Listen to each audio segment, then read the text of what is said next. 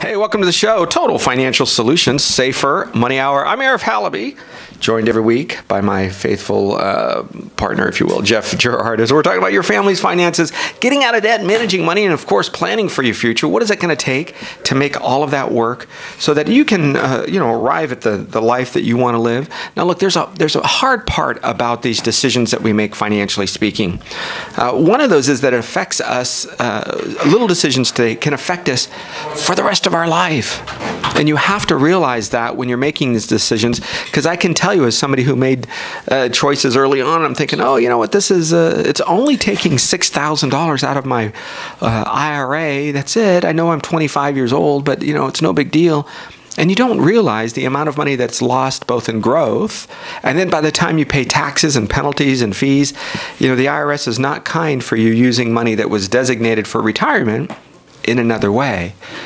So we have to uh, kind of lay down a foundation that says, you know, we're going to be uh, having money have its own job to do. And each time that we have money that has a job to do, we have to stick to it.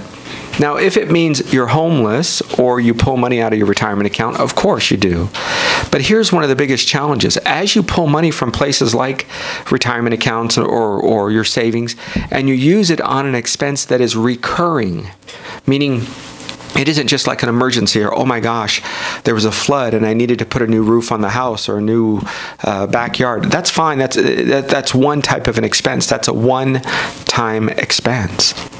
But if you're using money that is built for the long run to pay for things like credit card debt and you haven't changed your behavior surprise 6 months or 6 years from now you will be right back in the same boat. In fact, we saw this a lot when people would refinance their homes and pull cash out and pay off things like a car or an RV or credit card debt. And then two years, eight years later, the car is broken, they back into credit card debt. But meanwhile, the home equity has already been eaten up. That's gone. So now you have it twice, both in the home equity that you've taken out and in the new credit card debt. So, mathematically speaking, does it make sense to pull money out? Well, of course it does, if the math works. But if you're saying, Arif, I didn't change my habits, Arif, my outlook on how money works hasn't really improved.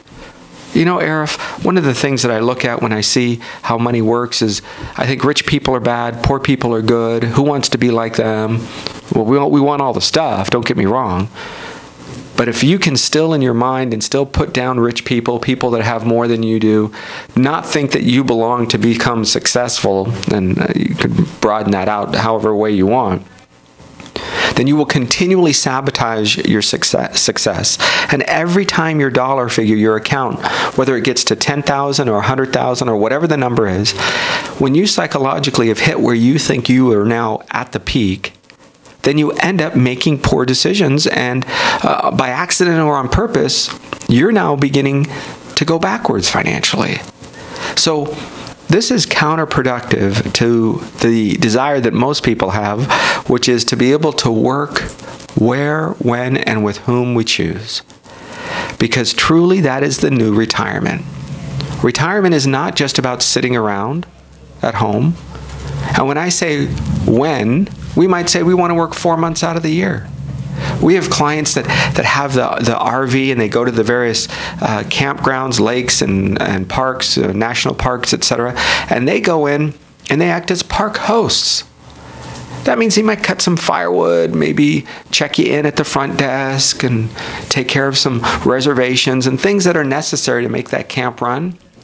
And for that, they get to stay for free with their RV and sometimes even get paid a little bit of a salary. Isn't that a wonderful? Now, maybe that may not be your choice, and it may not be mine, but that is a wonderful way to say, I'm going to work six months out of the year at this camp, and then I'm going to come back and work four months as a substitute school teacher.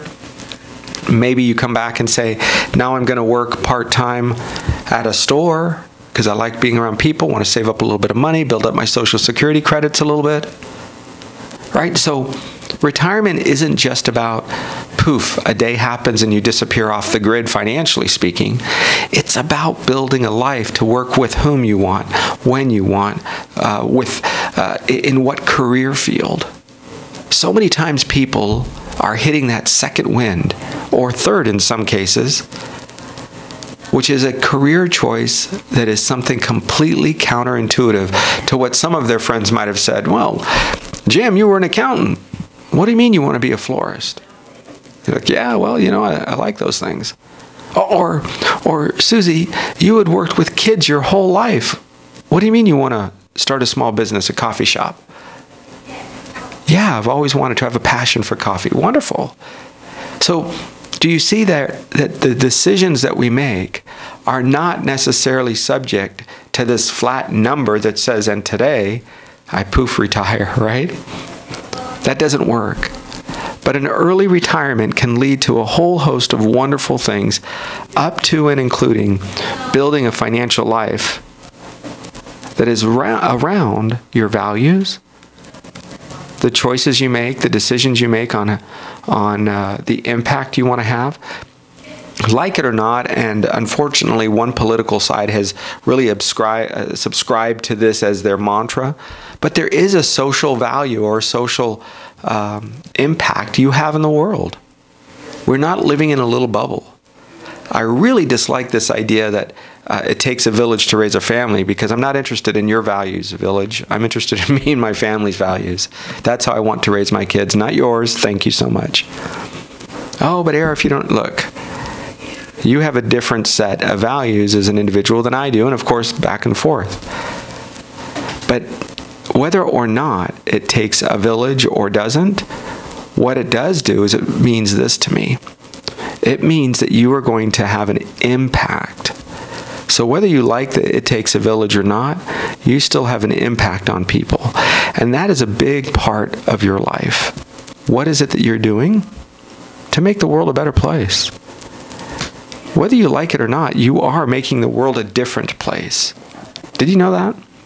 The world is different because you walked into it, because you were born, because your parents chose to have you, because they chose to live in this part of, of California. My parents chose to move to California. We are first generation born and native Californians, if you will. My kids are born and raised in a place that they're only here because my parents made a decision in the 60s, early 60s, to move from Michigan to California. So, do you see the impact? Your decisions and your choices will make a huge difference what career field you choose. Don't be hypersensitive to every decision you make, but just be clear that it has an impact. So, we're going to take a break when we come back in a minute because I want to get into early retirement. What does that mean for you? Can you take an early retirement? What do you have to do to plan for that? What does an early retirement actually look like? And what are some of the mechanisms in place to pull money from your retirement accounts and not pay that 10% IRS penalty? Did you know you can do that? Isn't that pretty amazing?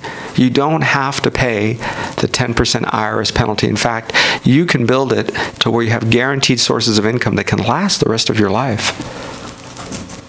And what does retirement mean now? It used to be wanting to pay off your home. And for some Americans, it's still the case.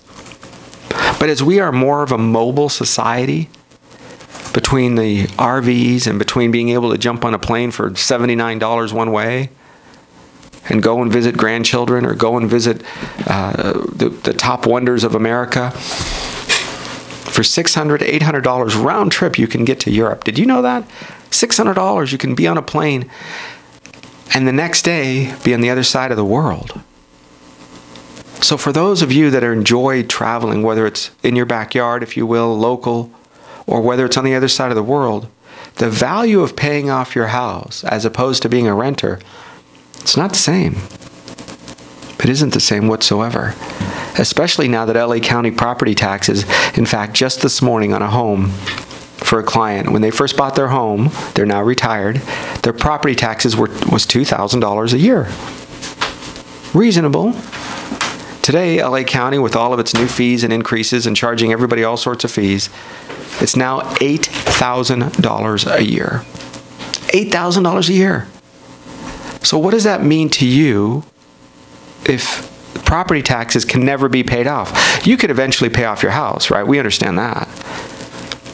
That'll eventually have a zero balance. But what never gets paid off? It's called your property taxes.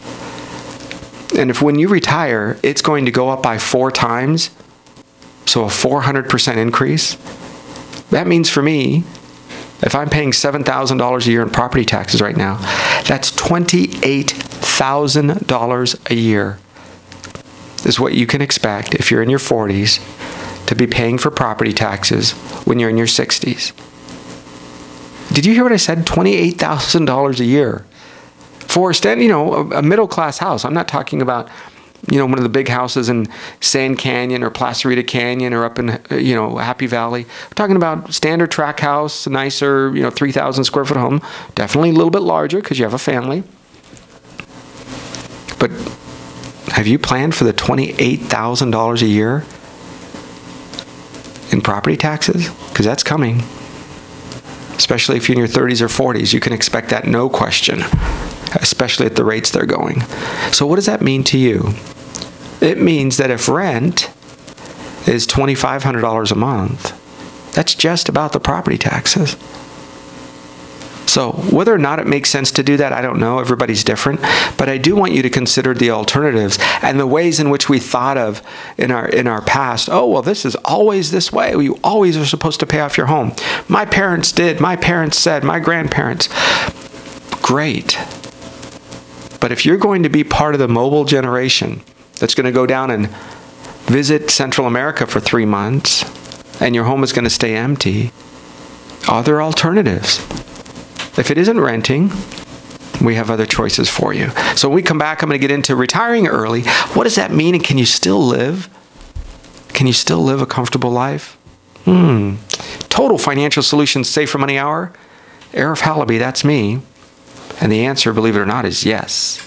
We come back, we'll get into how you retire early, some of the choices, some real basic things to do, but the impact, as I said at the start of the show, of the decisions you make today can affect people, yourself, and others, the community, for generations when we come right back. Total Financial Solutions Safer Money Hour. I'm Arif Halaby. We'll be right back.